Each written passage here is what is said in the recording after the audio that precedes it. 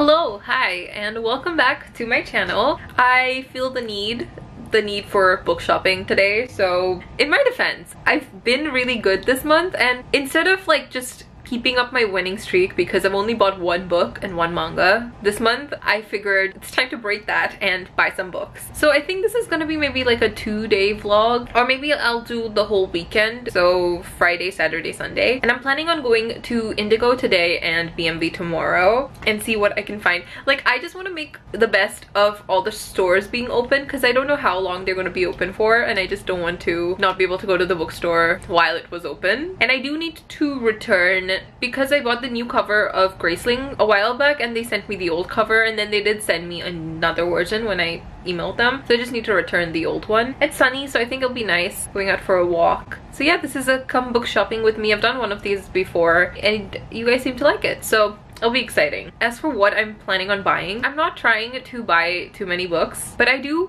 wanted to buy a physical copy of A Dark and Hollow Star just because I read it on audio this month and I really liked it and I just really want a copy. It's just such a pretty book and I really want a copy especially with my girl on the cover. I'm not saying her name because I can't even pronounce her name, but it's fine. But other than that, I don't think there's anything I desperately need, but I do really feel like browsing, so we'll see if I end up getting anything. This is a book buying vlog, but I guess I'll also talk about what I'm reading throughout today and tomorrow. I am in the middle of four books, but the only one I'm not annotating and listening to on audio is To Kill a Kingdom by Alexandra Christo, and I am over halfway through this.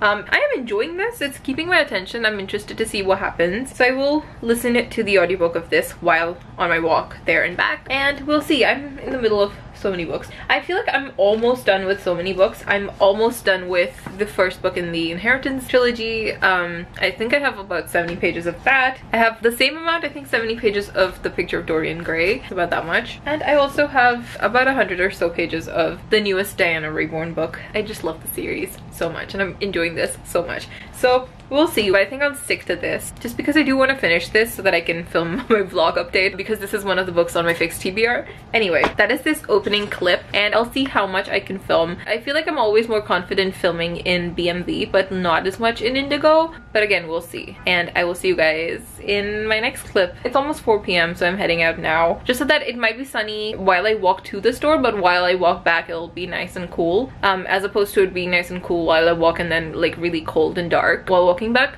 I don't know. So I'm gonna go and we'll see. Well, we will see. Okay, bye.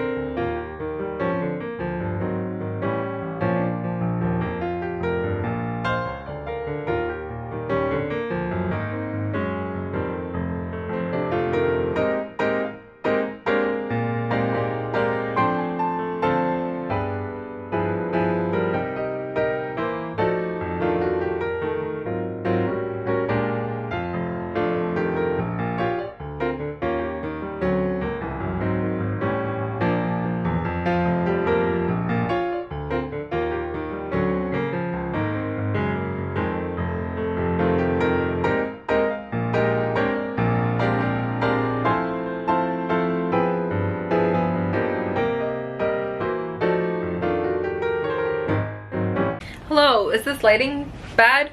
Is this better? Who knows? Hi.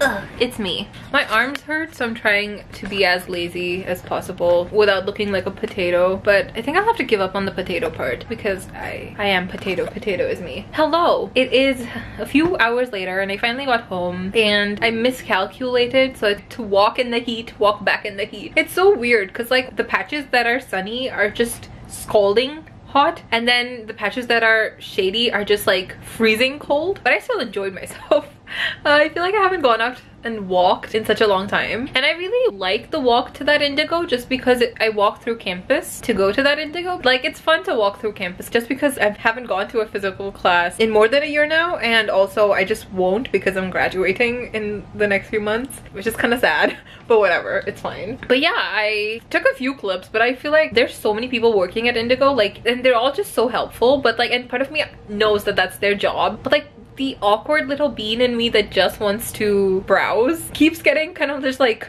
flustered every time someone comes up to me and because I have earpods in, you really can't hear anything. So they tapped me and I literally fell, almost fell into the bookshelf. It was that bad. But I know it's their job, so it's fine. But yeah, I tried to take some clips, but there are just so many people and I just felt really awkward, which is why I like BMV because there's like four people working there. The store is huge. Anyway, I bought some books. I think both the books aren't surprises if you've seen the clips. The first one is a book I went for and I just, I love this cover a lot. The book is so heavy and the, feeling is really metallic for some reason and I just feel like that works. And also, my girl, Narciss Narsicaa, Narcissus her, she is so pretty. I love her. Um, I think she was my favorite character. I can just stare at her for ages. She's so pretty. Anyway, that's beside the point. This is just one of those books that I want to collect because I feel like this is one of those books that I will reread, especially when the sequel comes out. I want to reread this before that. Okay, I'm just, I, I keep staring at her. Anyway, so like this is just such a fun series. Again, I part of me bought this because I wanted to support a Toronto author. All the little references to Toronto that you get in this, especially to my campus because because the main character's father is a professor. So like she meets him on campus and like those little things when you recognize the store or, or you know the street or actually the indigo that I walked to today was like the Sealy Spring Court. It's just so cute. Those little references I really love. The characters were so fun and the sapphic relationship I was really really into. So I'm really excited. I think it's a duology but either way I'm just really excited to have this physical copy and reread it. And the second one I think I showed off in a clip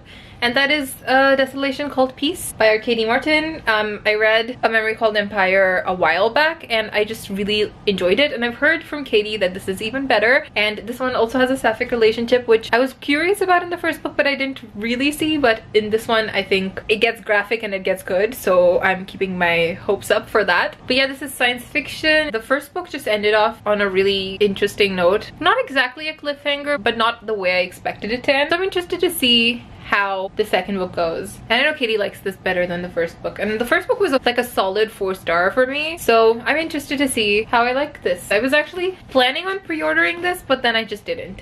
Speaking of pre-orders, I don't know if I mentioned this, but I had pre-ordered The Unbroken and I picked store pickup because on this one day, my brain had the misfortune of telling me to take the walk. You want to get some fresh air, you want to walk through campus, so just just press pickup instead of getting free shipping the way I get let's we're not getting into it. So instead of getting free shipping i picked store pickup for not just one but three books that are pre-orders. And i was hoping that my pre-order for the unbroken came in before i went to the store today but it didn't. And in the book's defense it doesn't come out for the next few days. But i went to indigo and there were physical copies already. So I, I talked to someone and they were like oh yeah if you cancel your order and buy it physically now that should work. But i kind of got it on a sale and i got like four dollars off. And i refused to pay full price because i got four dollars off. And also i think that there's something about authors not getting the money if um, the book is sold before release date. So I'm not taking my chances. That just means I'll have to go back to the bookstore next week. What a shame. What a misfortune. I cannot believe something like this would happen to me. I can't even act. Anyway, I have so many things to do today. I have to do my laundry because I'm on my last pair of everything. And I also haven't, like me just casually going to the bookstore,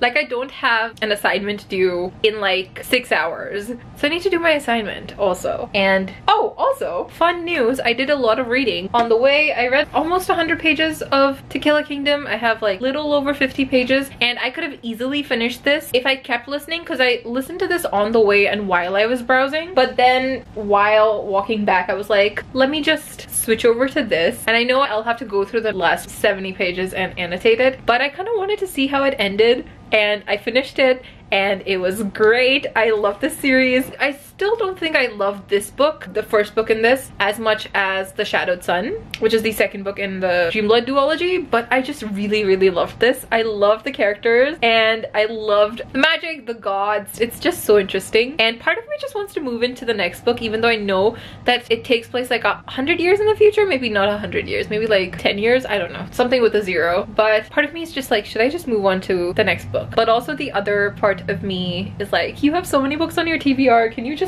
calm down. But yeah, that is my book club pick. So I'm really excited to talk about it with Tammy, Katie, and Sophia. It's on Sophia's channel and I think it's in the first week of April. So I'm excited. Anyway, that is this update. It's 10 minutes long. Buying books just gives me the serotonin boost and I haven't felt this in a long time. And I just this is so unhealthy.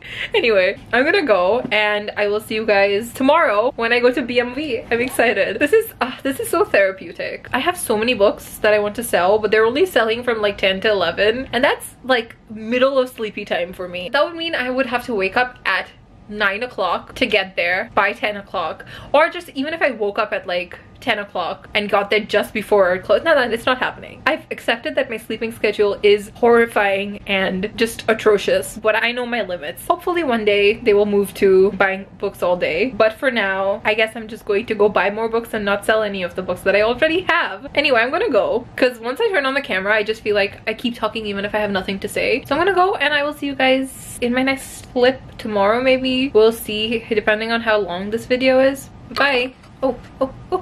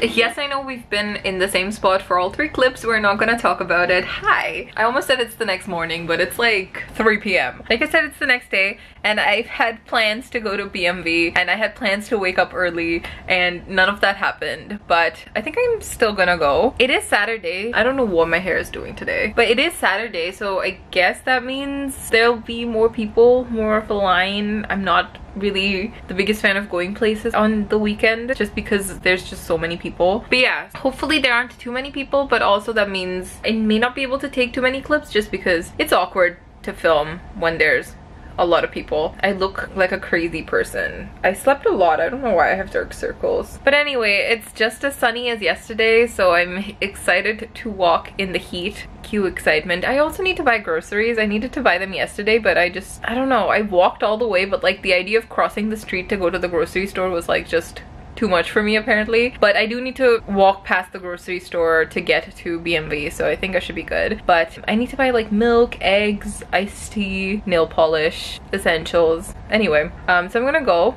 and I'm feeling some kind of way, so I might just end up ordering food for dinner after I get back. But we'll see. I don't have too many expectations because the BMV just opened, which means that they're going to have all the same books that they had before. But maybe I'll find something. Maybe I'll find a little gem in the rough. It's been a few days since BMV opened, so maybe some people woke up at 10 o'clock in the morning to go sell some books. Hopefully, fingers crossed, we'll find something good and hopefully I will take some clips. Yeah, goodbye.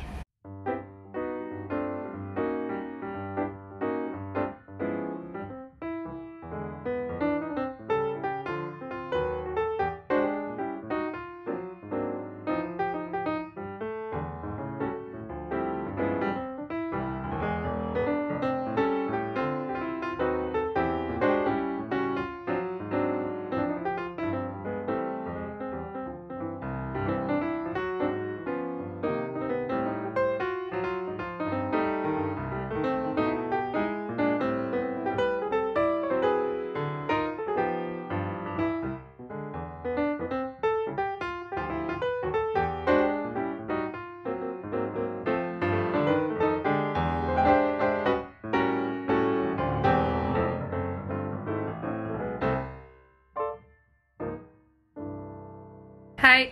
Hello. Hello. It's me again. I feel like I need to convince you that I do get out of bed and I'm not always sitting in this exact spot of my bed. But you saw the clips from the bookstore. You know that I you know that I got up. I've been home for a while. It's 6.30. I just realized that I need to start editing this if this is going up tomorrow. So I needed to first end this video, which I can't do without telling you what I bought at BMV. And also what I read while I was going to BMV and coming back because I didn't mention that in the previous clip. Okay, um, I bought two more books they're not like high priority TBR for me, but they were both really cheap and they're both books that I eventually do want to get to when I'm in more of a science fiction mood because both these books are science fiction. The first one is Ninefox Gambit by Yoon Ha Lee. I do want to give Yoon Ha Lee a second go just because I did read Phoenix Extravagant and while that one wasn't exactly for me, I think this is their most well-known book and I think I have a higher chance of liking this. And it was only $4. So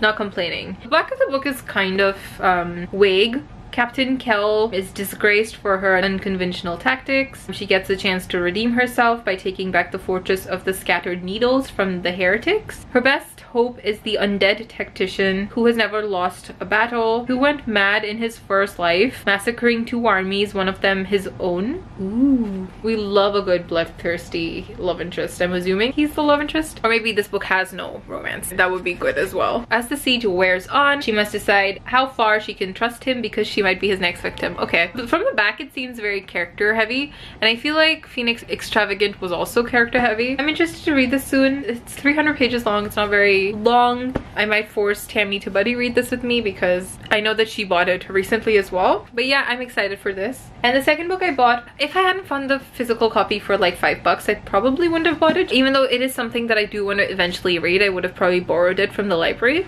But it is EXO by Fonda Lee. If you've been on this channel for a while, you do know that Fonda Lee is one of my favorite authors. I love the Greenbone Saga. This is her YA science fiction that I know really nothing about. I do know she published three science fiction books before Jade City and I think this is the first book in her duology and then there's one standalone. The more I look at this cover, the more I think I don't like it. But I trust Fonda Lee. I do eventually want to get to all her other stuff, so I know next to nothing about this. It just says Earth isn't ours anymore. So I'm guessing comes some kind of alien invasion story. It has been a century of peace since Earth became a colony of an alien race, so that's what I figured that there was some kind of alien invasion. So we follow one of the humans under this colony of aliens who is doing pretty well for himself. His father holds a prestigious government position, so he's doing pretty well until a routine patrol goes awry and and Donovan is abducted by the human revolutionary group um, determined to end alien control. I think this is going to be a typical alien invasion rebellion story, but I'm interested to see how Fonda Lee adds her own twist to it. Left to the hands of terrorists who have more use for him dead than alive, the fate of Earth rests on Donovan's survival, because if they kill him, it could spark another galactic war, and Earth didn't win the last one. Okay, interesting enough. I'm not completely grabbing my attention,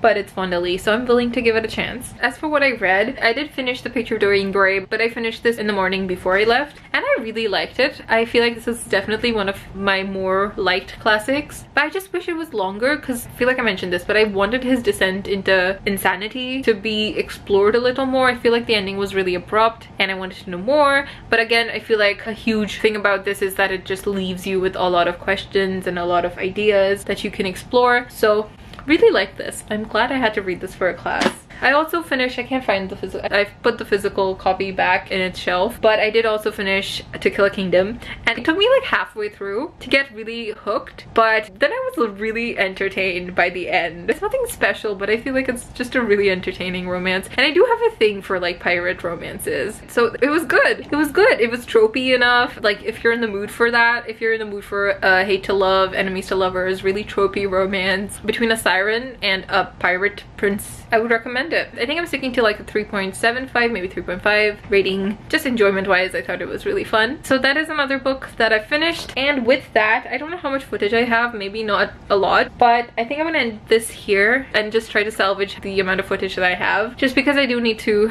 edit it and put it up tomorrow. So yeah, that is the end of this video. I hope it was kind of entertaining. I know that there are still places where stores aren't open yet, so I hope you could live a little vicariously through me. Again, there were so many people at BMV. I had to wait in line and I, there was a time limit for how long I could be there. So I couldn't really take too many clips, but I really tried. There was this one time where I was filming a clip and I was like turning and I really just bumped into someone and they just looked at me like I had a problem and I, I was just so embarrassed. But yeah, I hope the clips that I got were good enough. I feel a lot better after this little impromptu book buying spree. And yeah, if you read any of these books, either the books that I'm reading right now or the books that I bought, let me know what you thought about them. That's all I have for this video. All my links will be down below. I post videos every Thursday and Sunday at 12 p.m. EST and I will see you guys in my next one. Bye!